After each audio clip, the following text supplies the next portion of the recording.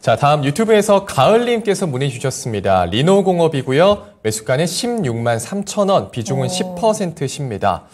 어, 매수한 후부터 계속 흘러내리네요. 계속 들고 가도 되는지, 추매를 해도 되는지 궁금합니다. 말씀 주셨습니다.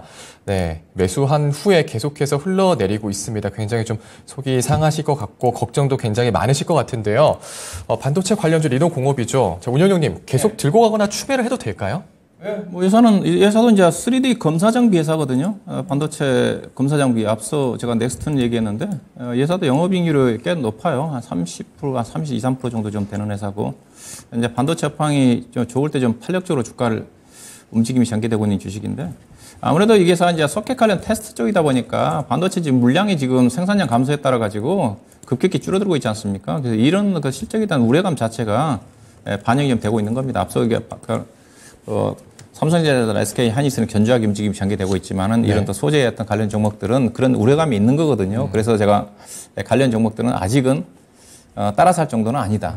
trading 매매를 해야 된다는 시각이고요. 그래서 어, 결국 이제 반도체 업황 자체는 뭐 하반기 때 좋아진다는 것 자체가 거의 지금 뭐 기정 사실화되고 있는 쪽이니까 거기에 포인트를 좀 맞추시면 될 것 같습니다. 그래서 어, 긴 흐름으로 본다면 주식을 좀 모아, 모아가야 되는 주식이지 어, 주가 좀 떨어진다고 저점 이탈한다고 해서 이 종목도 앞서 얘기했듯이 영업이익률이 30%가 넘으면 이 종목도 이제 불황에 상당히 이제 강한 주식으로 좀 볼 수가 있는 건데 네. 이 회사가 비싼 회사가 소켓 테스트 기업인데 비싼 회사가 어, 이 회사가 오히려 주가가 제가 보기엔 더 싸요. 어, ISC라는 회사가 있습니다. 이 회사 차트가 훨씬 낮잖아요.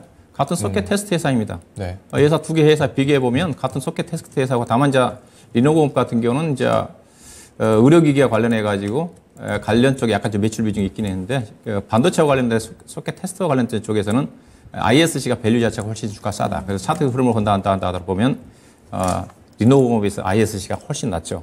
에, 그래서 아무래도 올라간다 하더라도 제가 보기에는 ISC가 주가 좀 빠르게 올라가지 않겠는가. 일단 이 종목은 보유 의견이고요. 어, 회사도 뭐 불황에 강한 주식이 기주이기 때문에 에, 비중이 10% 정도 좀 되시는데 어, 좀씩 뭐 분할 매수 추가 매수 하셔가지고 어, 긴 흐름으로 하반기라든가 내년도 시장을 좀 대비하는 어, 전략은 좀 가능할 것 같습니다. 16만 원대까지 가기 위해서는 아무래도 최소한 하반기 정도 좀 가야 되지 않겠는가.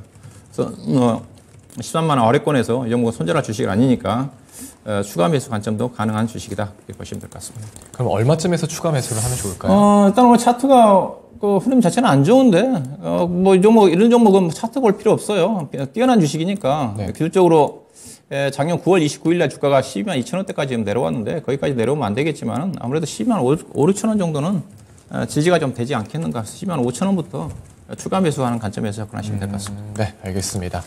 어, 실적에 대한 우려감이 뭐 주가가 부진하다 말씀 주셨는데요. 어, 긴 흐름으로 모아가야 주식이다 의견 주셨습니다. 12만 5천 원에서 6천 원 정도 추가 매수하셔서요. 하반기까지 16만 원까지 가져가 보자라는 의견 주셨습니다. 네.